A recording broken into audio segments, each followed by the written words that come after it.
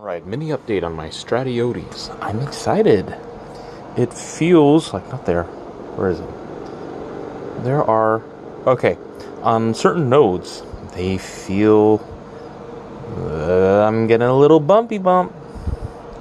Can I, can I focus?